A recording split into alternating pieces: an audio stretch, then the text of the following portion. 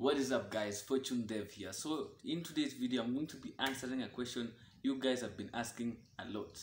So what is an API? So the textbook definition of an API is an application programming interface.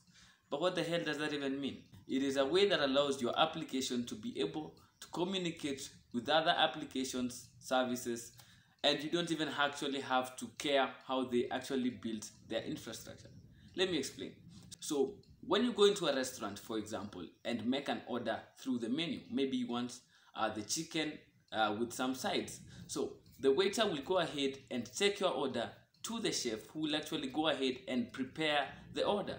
The waiter will go ahead and bring you the food from the chef and bring it back to your table. So in this, I know it's not the best analogy, but let's just roll with it. So in this situation, the waiter has become the link between you and the chef. So you're getting the chef's expertise via the waiter, and the chef can also know what exactly you need because the waiter told him your request. So I know it's not the greatest, but in a more practical example, it would be if I was to make an Android application and I needed maybe to add a map to it. If I didn't have a Google Maps API, I would actually have to provide my own map data with little or no interactivity. So with all these APIs, the Bluetooth APIs, uh, the Google Maps, and all these other APIs, you can really build more scalable projects at that point. If you're new to the channel, be sure to like and subscribe, and I'm not going to leave you hanging. Let's go ahead and do a simple project where I'll be showing you how to fetch data from an API. Let's go. So let's get straight into this. So I have created an API tutorial folder right here, and I've opened it up in my Visual Studio Code editor. So if we go ahead and check out the index.html, you'll find that it's just some basic markup where I've linked the style sheet as well as the app.js.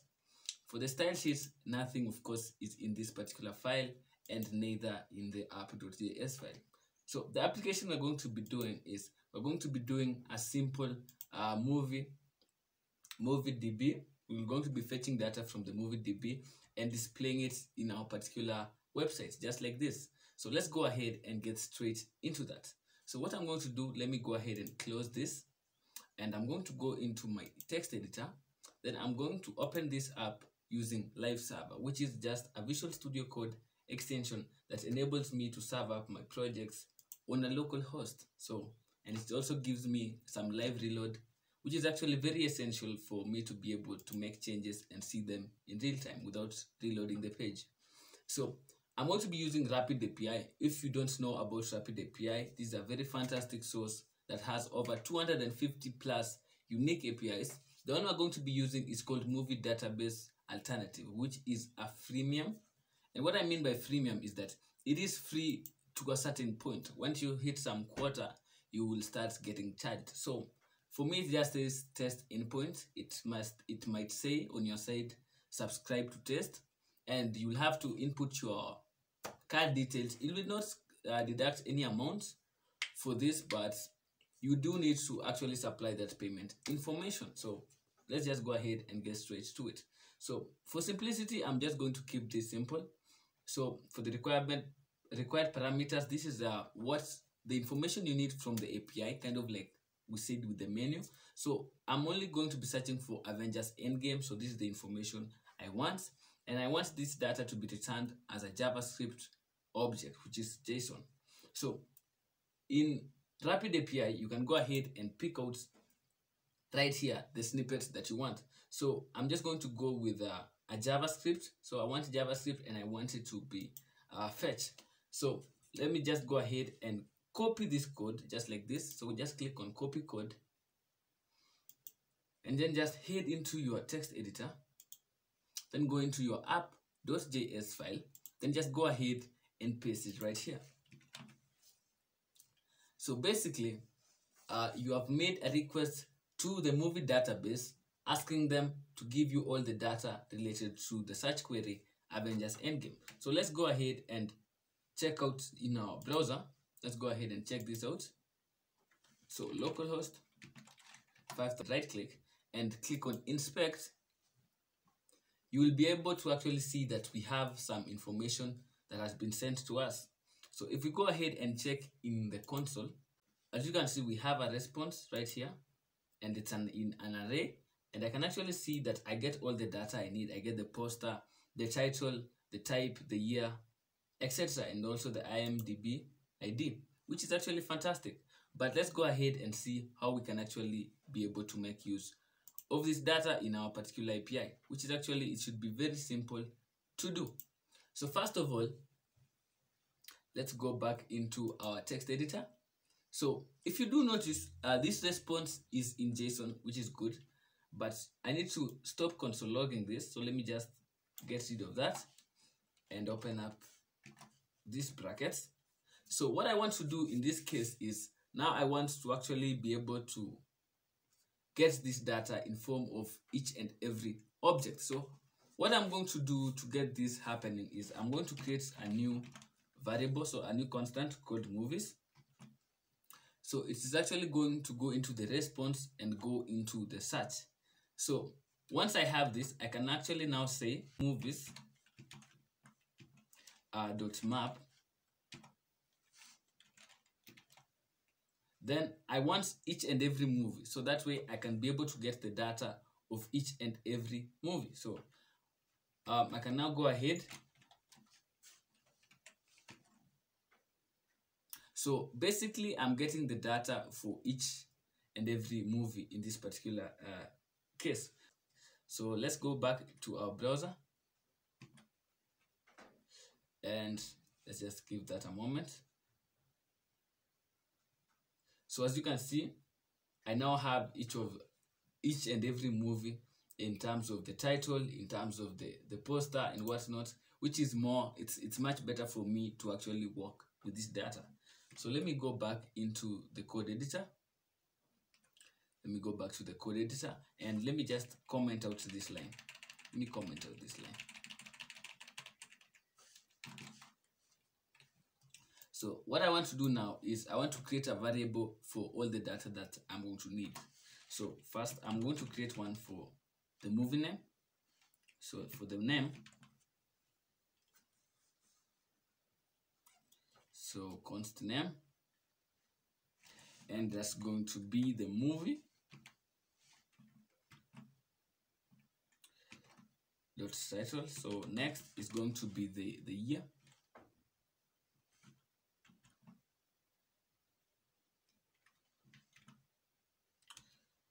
So it's going to be pretty much the same thing for the year. Then I also want the poster so let's go ahead and do that. I need the image for this. So the poster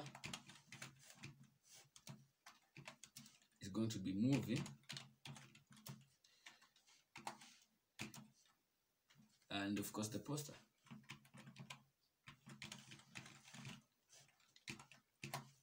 so next i need um, i need the movie card. So i'm going to be generating the movie card uh, by actually putting all the variables that i have now into one uh, variable. So so for that i'm going to call this movie card.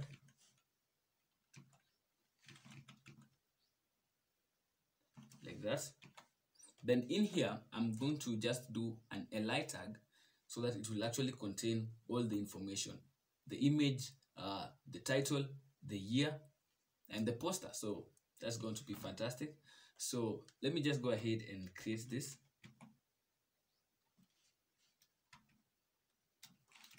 So basically, now it's time to input this data from the app.js back to the DOM.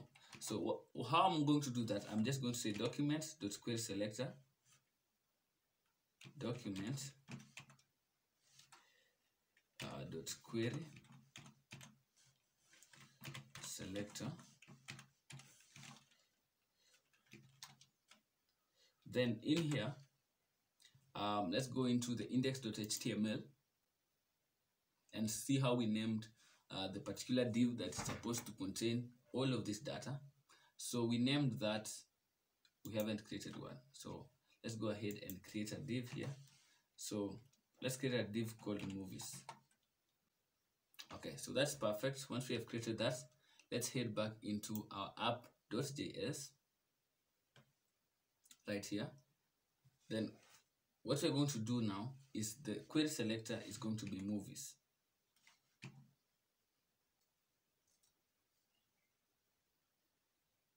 Yeah and we should be good to go. We should be good to go just like that. So now now that we actually have this stored in our movie card. Let's go ahead and check out if we have any response on the DOM. Uh, so let's go back into this. Okay so we must have messed up in uh, HTML in some way.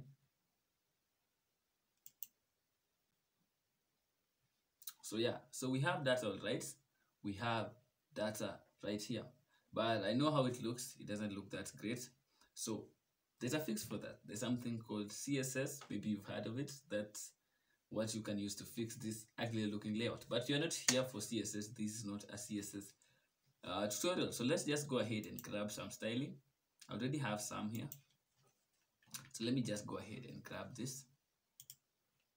And if I go ahead and check that out that is looking much better. Let me just go ahead and change let me change uh, the h1 let me give a little more style to the h1 and i'm just going to say the color is going to be white.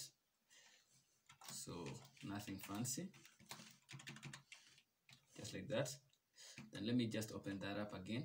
And as you can see movie api and we have all this data so it's not it's not it's not perfect it's not perfect but you have actually just got data from a database that is not your own which is actually fantastic if you think about it and you can also go ahead and do a lot of uh, playing around with this because we actually fetched for Avengers Endgame. Maybe let's fetch for something else. Let's do let's do friends. Okay.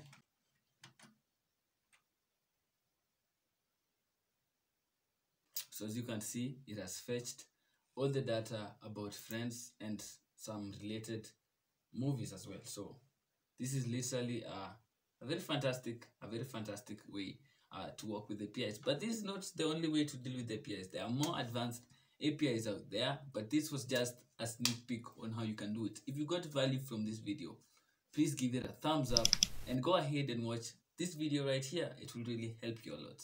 That's it for now. Peace out.